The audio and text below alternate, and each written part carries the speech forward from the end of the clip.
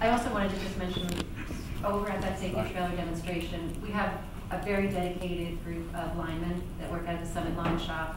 And the supervisor was born and raised in Morristown. His mom works at the Assumption School as a teacher for the last 30 years. So again, it's like we are part of your community. We're not just here to address something when it happens. And that's just by way of background. So on August 29th, as Ms. Barrick said, we met, um, your planner, Phil Abramson, also came, and we met with our team of external affairs, engineering, and operations to address what happened on August 5th particularly. I know your mayor wanted to come and wasn't able to, but we've been in communication about it. So tonight, this is what you wanted to hear about, which was the incident that occurred. And um, I know that it was particularly concerning to you because of safety reasons. There's the reliability, and it is not fun when your residents are out of power, and we all know what that is like. But when there's a safety concern, as there was with the manhole cover, that's when the alarm bells really are, are you know, up. And um, I want you to know that your administrator and mayor and I and Chief Flanagan are always on the phone. We'll, we'll stay on the phone for as long as it takes. I try to give them as much information as I have. Um, you know, I'm calling the dispatch center, and we're always all in constant communication. This one was a little bit trickier because when there's cable faults, we don't always know the source. What we're doing is we're concentrating on safely repairing them, uh, the, prop, the issues, getting everybody restored. And uh, so what we do know is that there were two cable faults that occurred on that day. Um, they were out of the Morristown substation, circuit 37855 and circuit 37934. Um, I wanted to share with you that they were not part of the underground network. I think you're all familiar with the network, and then there's outside of the network. The faults occurred, one at Lafayette Street in Morris, and the other was um, on Speedwell Avenue by the CVS. Uh, subsequently, we evaluated the cable for quality control purposes to see if there were any error in workmanship, was any error in workmanship. And it was determined, uh, we got the results that there was no error in workmanship. Um, the splices were in fact done correctly. So, um, you know, apart from that, there is no official determination of what caused those faults, um, other than degradation of insulation, which we don't know exactly what that, what caused that um, after the evaluation. Um, I will tell you that the JCP&L team of operations and engineering then assessed the situation and we have an action plan. And here the, here's the plan to make improvements to make this a safer situation. Um, the first thing we're going to do is reconfigure the circuit breakers to operate more quickly in the event of a fault on the underground portion of the circuit. The second thing we're going to do is to uh, block the circuit block the circuit breaker from automatically reclosing in. The third thing that we're going to do is to install new manhole covers that are vented, um, and we're strategically placing those manhole covers.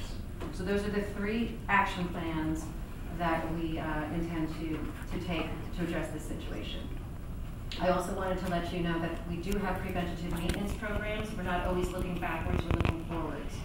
Um, some of these don't have anything to do with the cables, but just in terms of your reliability, we inspect the circuits every five years and we evaluate whether equipment needs to be uh, repaired. And uh, there is work going on in Morristown right now to replace poles, to replace a transformer. Uh, we're going to be doing a project to replace underground, what they're called crabs. Um, we inspect our poles every 10 years. We also do infrared scans, or it's called thermography. And uh, we do that on a four-year cycle, and we use infrared cameras, which detect issues that are not visible to the eye.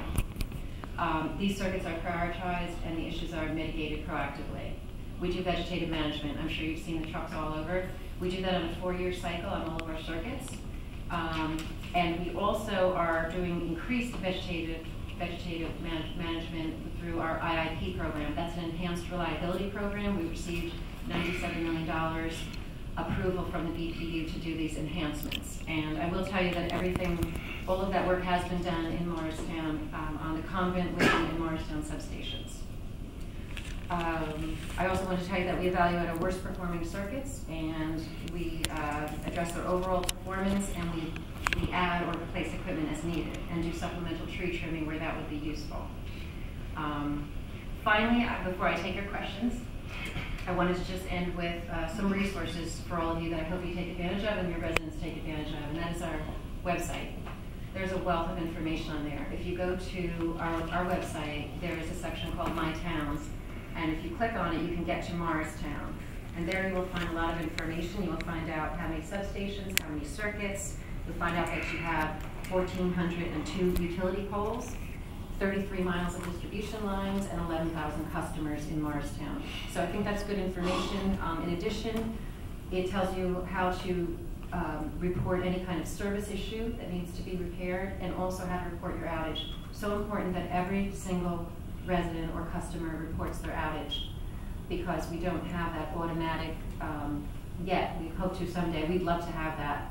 But really, we go by the call-ins, and it helps our crew to know where the problem is. Because when they, they come out here and they're looking for the fault, if they see a cluster of, of customers who have called in, it helps them identify it more quickly. Um, so we also want to encourage everyone, you can follow us on Facebook, Twitter. Uh, we watch that stuff, we're following it. And uh, we'll get, we'll get to see what the comments are from the residents and what the, uh, what the concerns are. So that is uh, what I wanted to share with you, but I know that you do still have some concerns and questions that you might have for us.